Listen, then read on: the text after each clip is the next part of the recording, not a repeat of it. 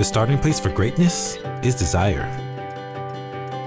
The desire to succeed, to serve others, and to keep on going no matter what.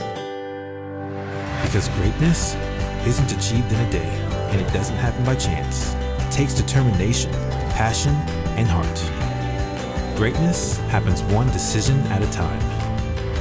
Middle Georgia State University. Greatness starts here.